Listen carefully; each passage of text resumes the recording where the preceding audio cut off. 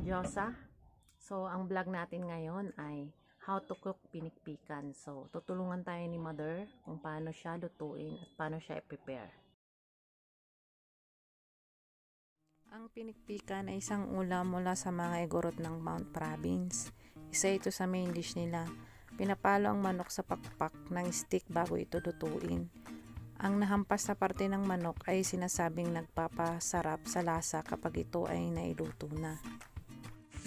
Yan sinatasaya. Yan, dyan namin siya susunugin maya maya. Pag ang pinagpikan, ito sunog na. Yan, unti-unti na siyang nasusunog.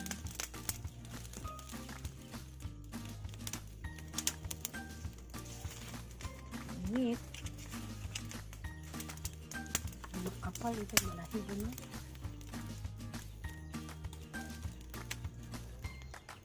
Ang sunod ako na niya. Yan. Madali na lang siyang tanggalan ng balahibo.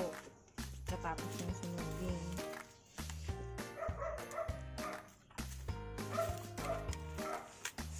Diba? Kasi ang mga ito na sunsunugin. Kung may sakit ka, ina, ah, ayan, magsunog sila para maalis, umalis yung, Mga virus. hindi, yung mga, ani-ani ito, yung mga nino-nino Ah, pamahin bad nila. spirit.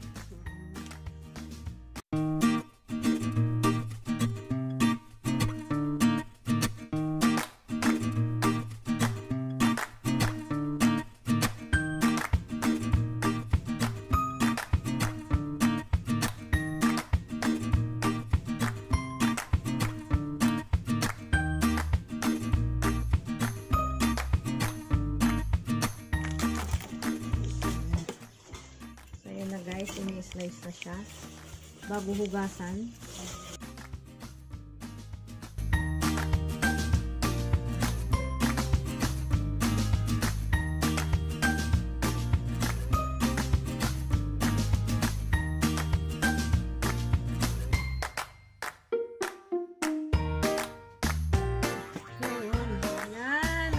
Siya.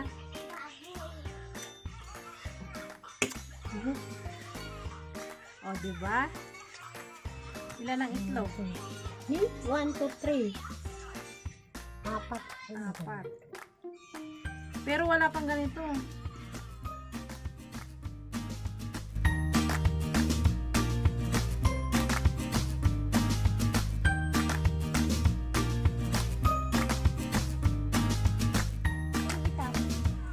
Kung magkakatay ka din ng ikan, mas lalo kung may mga anak, ilagay mo ito para magpatubol ng didi, ng Ah. bata.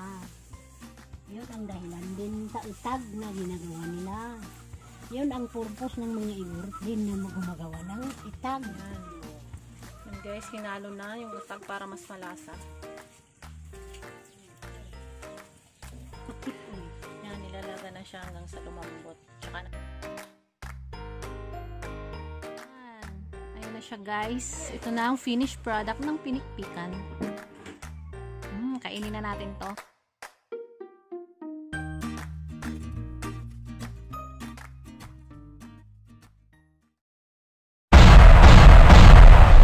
Subscribe now